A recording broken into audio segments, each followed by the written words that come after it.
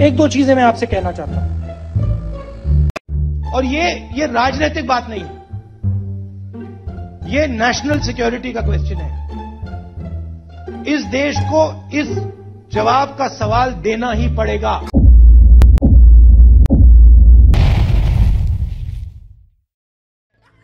और मैं हैरान हूँ जी। कोई सवाल का जवाब तो मैं दे सकता हूँ, लेकिन जवाब का सवाल मैं कैसे दूँ?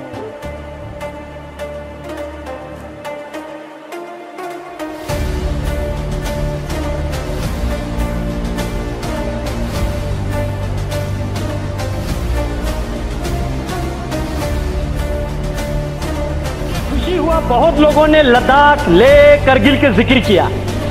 लेकिन मैं जानना चाहता हूँ, क्या वाकई वो लद्दाख जानते हैं ये लोग?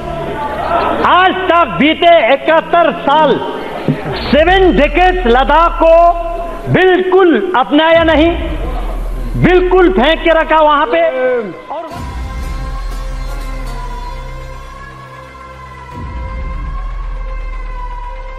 वहाँ पे और वक्तव्य दिया। वक्तव्य दिया इसी सदन में। वो वो ज़मीन है का टुकड़ा है जहाँ पे एक तिनका का घास नहीं उगते हैं।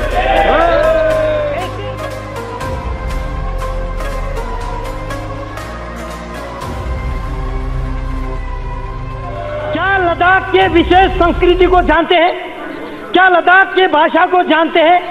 क्या लद्दाख के रहन सहन, खान पान वहाँ पे, वहाँ के जोग्राफिकल कंडीशन क्लाइमेटिक कंडीशन जो दुर्गम क्षेत्र है, क्या वो जानते हैं? या खाली किताबें पढ़ के बोल रहे हैं? अध्यक्ष महोदय, लद्दाख ने पिछले 71 ईयर यूटी के लिए संघर्ष किया। हम भारत देश के अटूट अंग बनना चाहते थे। 1948 में चार तारीख को पहला ज्ञापन लद्दाख बुद्धिस्ट एसोसिएशन के तब के प्रेसिडेंट ने पंडित जवाहरलाल नेहरू जी को दिया था, तब के प्रधानमंत्री जी को।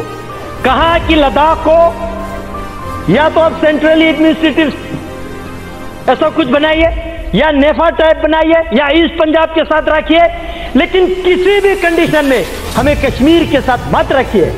यह हमने कहा था। लेकिन जिनका सरकार था, उन्होंने हमारे सुनवाई नहीं किया। जानने की कोशिश तक नहीं किया। और कश्मीर के नीचे आज तक हमारा डेवलपमेंट, हमारा पॉलिटिकल एस्पिरेशन, हमारा पहचान, हमारा भाषा लुप्त अगर हुआ है तो ये आर्टिकल 370 और कांग्रेस पार्टी जिम्मेवार है।